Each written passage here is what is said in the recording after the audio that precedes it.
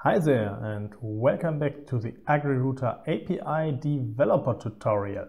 My name is Frank and in this video I'm gonna show you how we send the capabilities and analyze the result.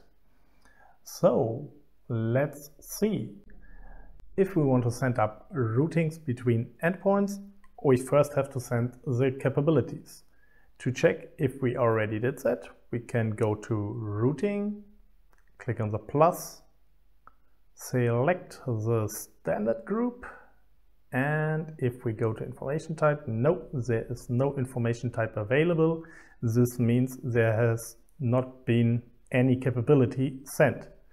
Why I took the standard group, you can see this in the video where we talk about the basics of routing.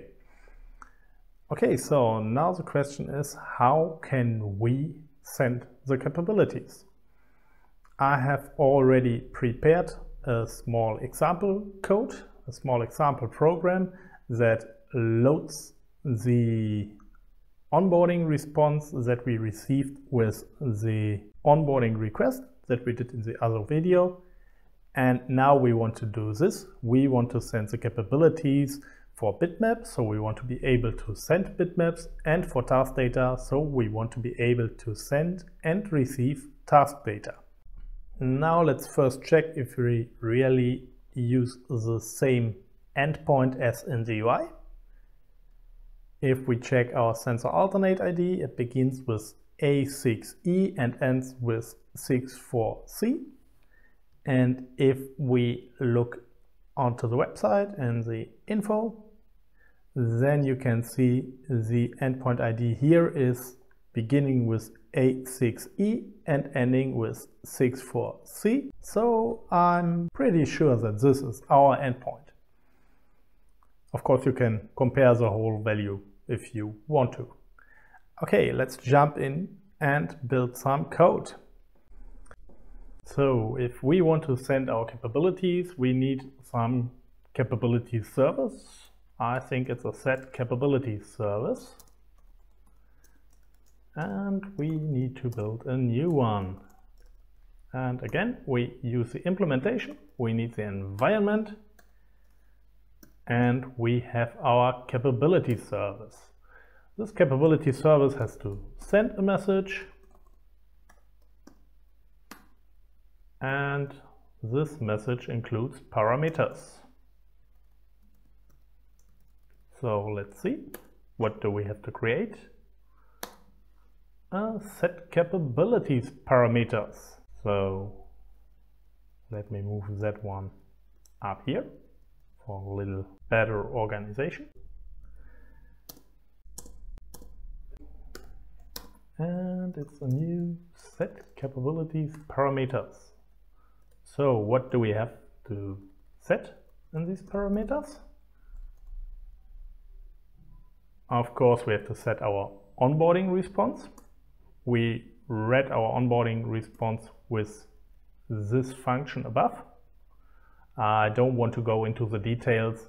It just loads the file from the resource and then we use JSON to import it to an onboarding response. So fairly simple. Then we need parameters.set. What else do we need? Oh yeah, we need the application ID and I already created a variable for that. So let's say application ID. Yes, we created a variable for that. Parameters set, we need the certification version ID. And we have a variable for that as well. Then what else do we need? Dot set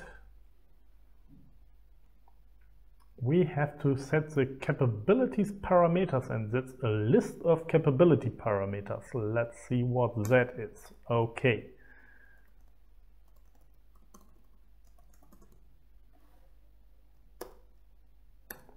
We create a local variable, move it a little bit up and it's a new array list. So if we leave that one empty, we wouldn't add any capabilities, so I think we have to add some capability parameters.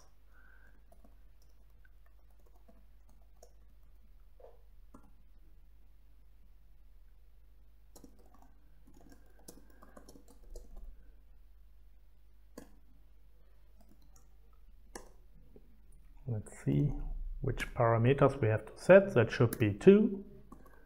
We have to set the technical message type and we have to set the direction. So if we want to set the technical message type, we simply go technical message type and we can select the one that we want. We want to start with bitmap, so img underscore bmp, which stands for image bitmap and we want to send that one. So if we say direction, set direction, we can use the direction send. Now, now let me simply split this one into declaration and assignment because this way we can add our parameter to the parameter list.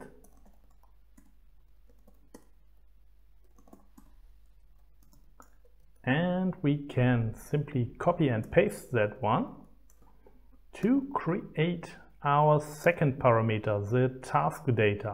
All we have to change is the technical message type. Yes.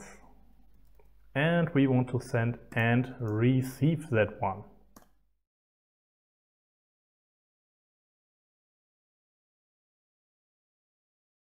So now we added our parameters to the list of capability parameters. We added the parameter list to our parameters. Additionally, what we can do is we can activate the push notifications by saying parameters dot set enable push notifications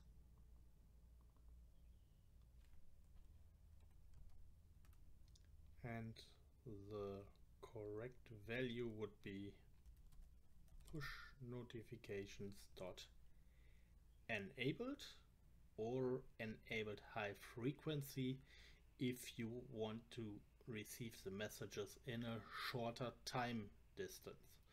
In the current implementation, enabled and enabled high frequency are the same. They have the same result, but in the future, enabled high frequency will deliver the data a little bit faster. So what we want to do is we want to use the disabled because we don't need this and the disabled is already the default value so we can even remove this whole point I just wanted to show you that this is available as well. Now the sending of the message is done. But if we send a message, we also assume that there should be any result. So let's try to catch some result. We use our fetch message service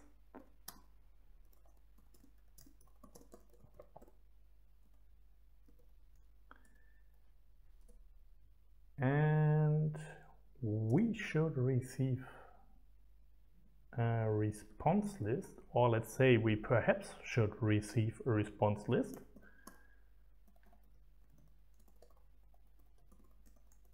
So let's call it optional response list equals fetch message service dot fetch.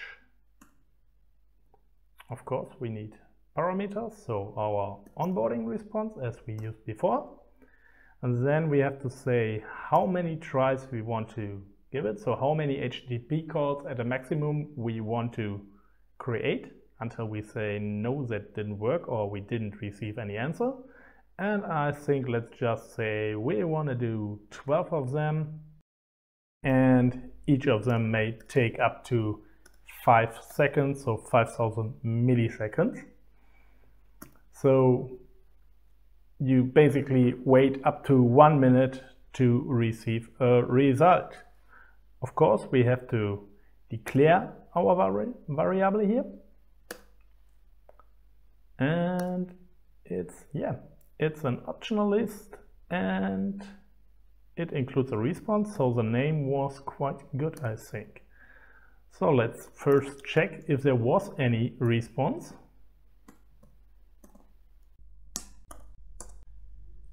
And if there is any response, then we want our response list to be the result. So get.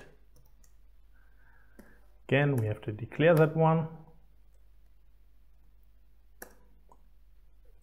Now, we could receive multiple responses. So, for example, if you request messages or if you send multiple commands, then you could receive multiple answers in one request. But I'm pretty sure that here we only have one result, so we can just use as a response the very first entry.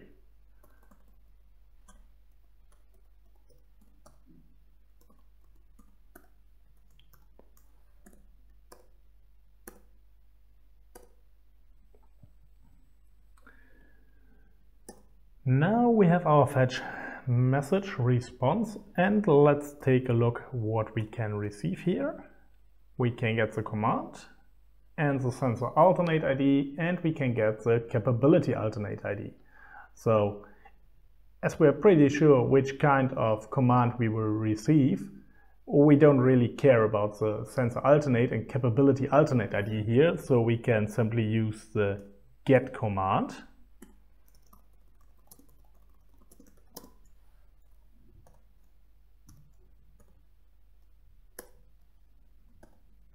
and we import that one as well. And now let's see what our message includes. On the one hand, we have the message and on the other hand, we have the timestamp so we can check when this message was created. For our example, we don't really care about the timestamp, so we can simply say get message. It's a string.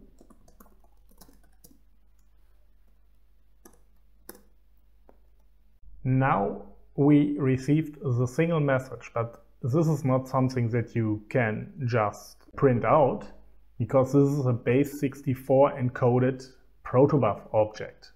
So we have to decode that one and how do we decode something? By using a decode message service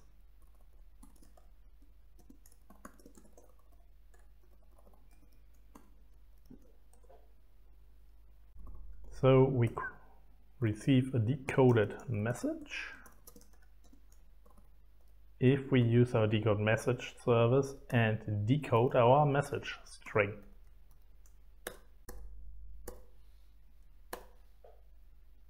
And let's see what we got here. We can get our response envelope and we can get the response payload wrapper. Now, the payload wrapper is only understandable if we know what the envelope is like. So let's first check our envelope.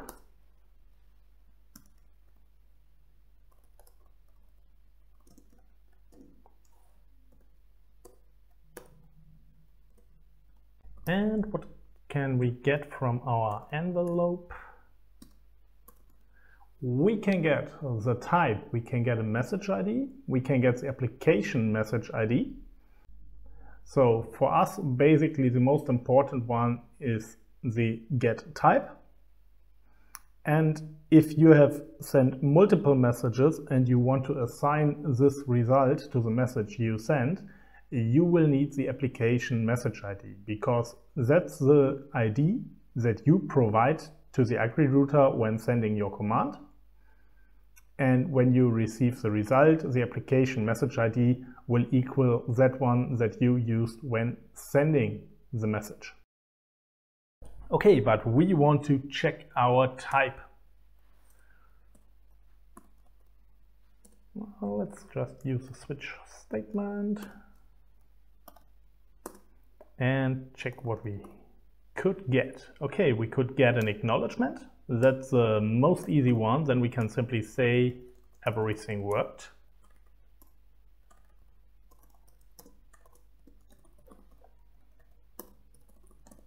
And we're done. We could get an ACK with messages. So this also means everything worked, but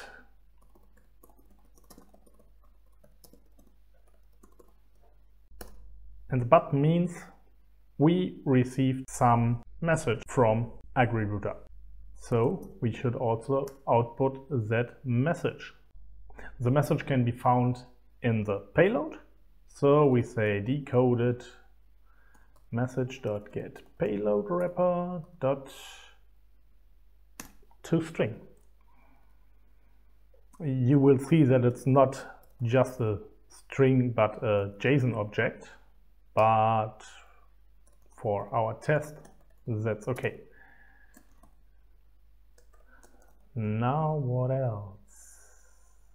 Oh, ACK with failure. Hopefully we'll never get that one, but it could happen. So we have to output that something went wrong.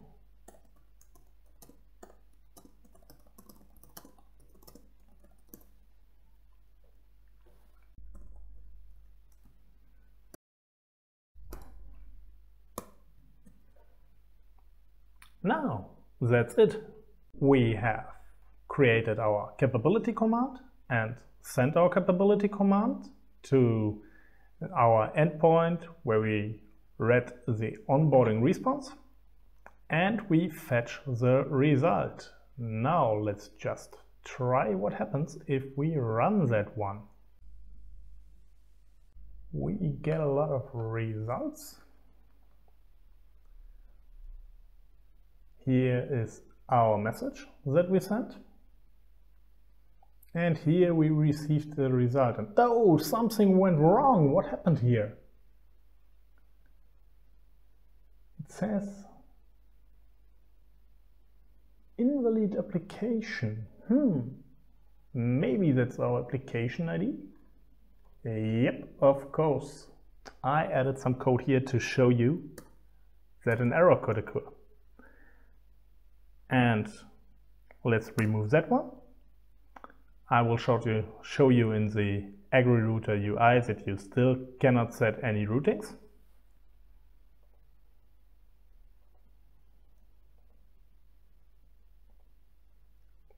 Nope, there's nothing you can do here. So I think we have to rerun our code. Oh, everything worked. That sounds a little bit better.